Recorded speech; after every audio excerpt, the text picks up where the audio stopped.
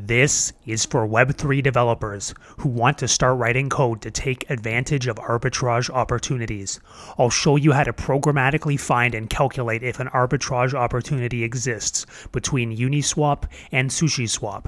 If you can find an opportunity like this, where you can buy tokens on one exchange and sell the same tokens on another exchange, it's free money if you can trade it before someone else does. Let's write the code. I have a project here with some setup code already written. I'll give you this in the description to this tutorial. I also have Ethers.js 5 installed, and that's it. Let's walk through this, and then we'll get to writing the code. Start by importing Ethers.js, which we'll use for connecting to the blockchain initialize a provider with Ethers so that we can read from the blockchain. You'll need your own Infura URL key, which you can get by creating an account on Infura. I'm using a fake key here because your key should be kept private. So input your own and you'll be good to go. I've predefined four addresses here. We have the addresses of wrapped ether, DAI, the Uniswap router address, and the SushiSwap router address. I intentionally chose two tokens, wrapped ether and DAI, which have the same number of decimal places, because this just makes our code a little bit simpler. I also defined a constant called path, which specifies the direction of the swap. In our case, this is wrapped ether to DAI. The ABI for Uniswap v2 and SushiSwap routers are the same, and they're the same because they use the same router contract code, though it's deployed to two different addresses. Uh, that's why we only need one ABI here, and we'll be able to use it for both of our router contracts. In this ABI, we just have one function, and that is get amounts out. That's the only function we're going to need. Then we initialize our two contracts the Uniswap router and the SushiSwap router by passing in the address, the ABI, and the provider, which we initialized above. I've picked one wrapped ether as the amount we want to swap into our arbitrage, but you can play with this and change it up as you like. Parse ether just converts the ETH amount to its small to its smallest divisible unit, Wei, basically just adding 18 zeros to the right side of the number. We open our main function and this needs to be async because later requests are going to depend on the results of earlier requests. Now finally, let's write some code. The first thing we need to do is call get amounts out on each protocol's router so we can get back the swap output amount given an input of one wrapped ether into each swap pool.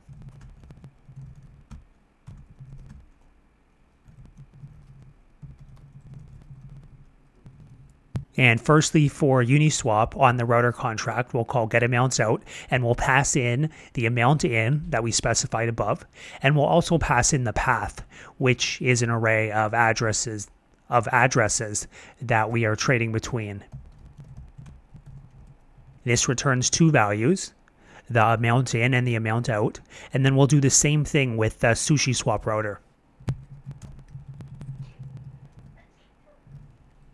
And arbitrage between Uniswap v2 and SushiSwap is about the easiest case you could really come up with because they both do use the same contract code. Not on every contract, but on these two contracts. With the input amount and output amount, we can calculate the price ratios on both pools.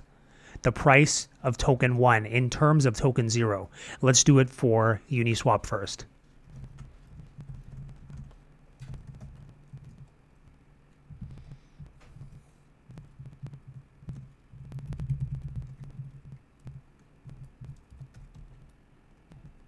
This gives us the price ratio on Uniswap, and then we'll do the same thing for SushiSwap.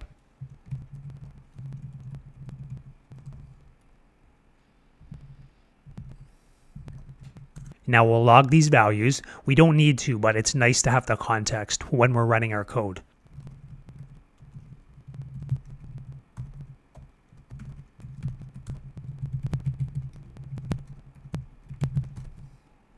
In Uniswap v2 and SushiSwap, the transaction fees are 0.3%.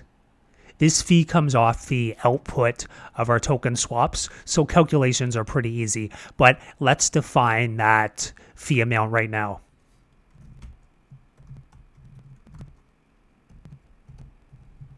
0.3% as a number is decimal 003. Now let's define a few variables. Firstly, the effective Uniswap price ratio, and this is the price after fees have been taken into account. If there were no fees on Uniswap, V2, or SushiSwap, it would be really easy to make money from arbitrage, but we do need to take fees into account. And the effective SushiSwap price ratio for these tokens. And the spread. And the spread is the difference between the effective price of both sushi and uni, or the prices of the two tokens we're trading on each of these protocols. The greater the spread, the more price difference between the two swap pools, and the more opportunity for profit from arbitrage. Now, if the uni price is greater than the sushi price, we want to run some code. And if it's the opposite, we'll run some other code. Let's start with the case of the Uniswap price being greater than the SushiSwap price.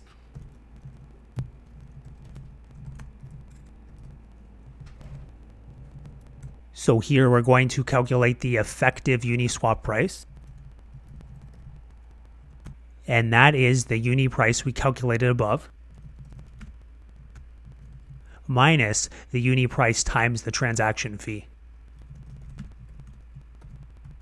The transaction fee comes off the swaps in both protocols, so it's going to decrease the spread from both sides. So we subtract it from the higher price, which is the uni price, and then we're going to add it to the lower price in a second.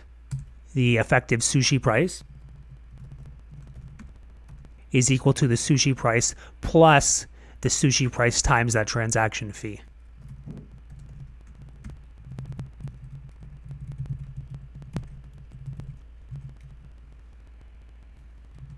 And by subtracting the fee from the higher number and adding it to the lower number, it decreases the spread between those two values and essentially eats into the potential arbitrage profits. And the spread is equal to the effective uni price less the effective sushi price. And let's log this.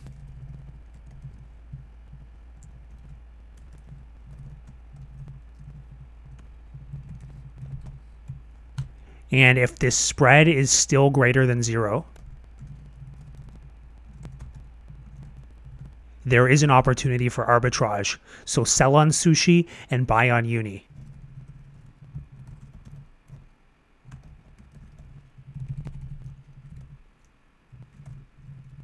And if the spread is less than zero, well, there's no arbitrage opportunity.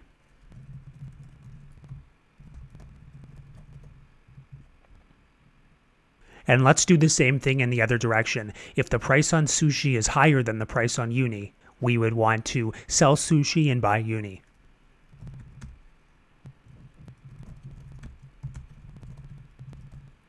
So subtract the fee from the higher value, which is sushi,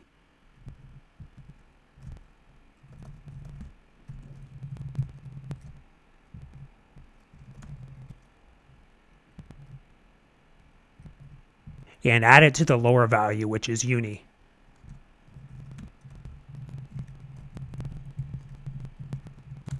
Take the spread,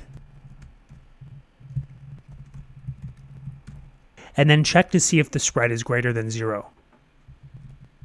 But let's print the spread first because it's nice to know.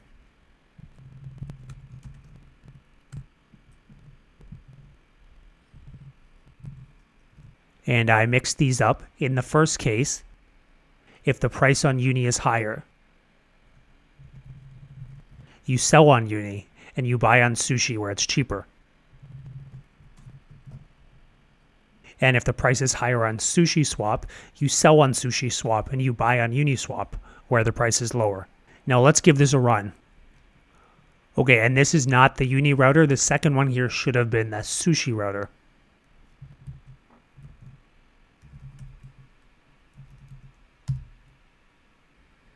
And we can see here the price on each exchange. On Uniswap, the price ratio is 1852.15, and on the Sushi exchange, the price is 1853.31. And our spread is a negative number, so there's no arbitrage opportunity in this case.